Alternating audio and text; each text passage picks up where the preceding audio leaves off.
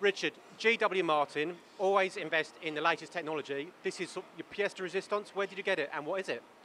Uh, this is a C200 uh, from uh, Geo Kingsbury. It's an Index C200. It's a triple turret, twin spindle machine uh, with a three metre bar feed. Sounds very impressive. How many, how many tools does it hold? I think it's got about 42 in all. You only know that because we counted them earlier. Correct.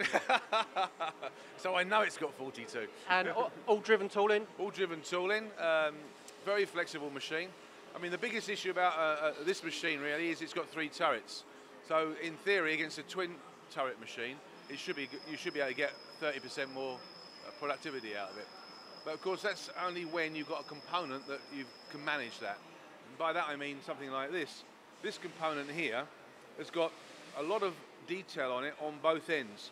And when you've got a, a, a triple turret machine, you've got to try and balance the detail that's required on each end. For instance, if you only had a hole up one end and not much detail on here, and then lots of detail on the other end, it would be out of balance because as this machine picks it up and takes it to the other spindle, it will have nothing to do. On a, on a twin spindle machine, it's important whether you've got three turrets or two turrets to try and balance out the work. Because really, when you're looking at pricing this and looking at how long it takes, the customer is really only paying for one half because the other half is happening in situ. So it's important that we try and balance that out. And when you've got three turrets, it's even more important because you don't want the third turret sitting there idle because it's finished all its work while everything else is carrying on. So it's a very, very important machine. It's a very fast machine, but you've got to have the right part for it. Okay, so with that part then, you look into first op one minute, then the second op an- another minute roughly, but overall it's just one minute. It'll be one minute. So yes, exactly. So if you've got a, a minute one end, a minute the other end, then and every minute a component is going to come out of the uh, of the conveyor. So So it gives you the flexibility and efficiency because you've got the three meter bar feed. three meter bar feed, yes. I mean, so we've got we can run this once it's set and running.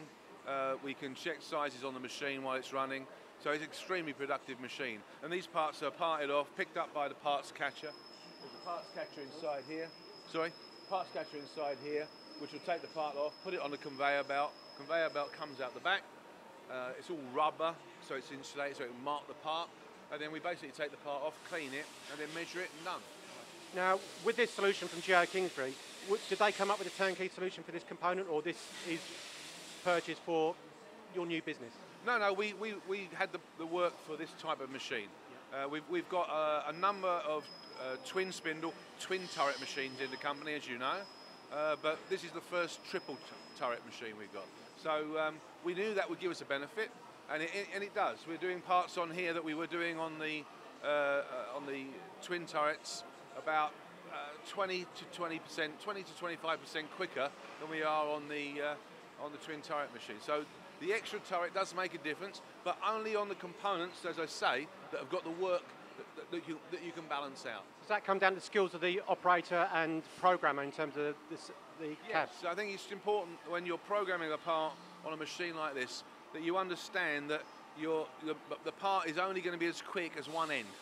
And so if you can balance that one end out and maximise it, then you're going to absolutely maximise your efficiency on making the part.